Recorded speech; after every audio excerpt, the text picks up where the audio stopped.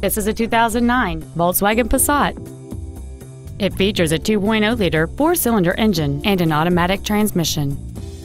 Its top features include a sunroof, heated seats, commercial-free satellite radio, a turbocharger, aluminum wheels, and traction control and stability control systems.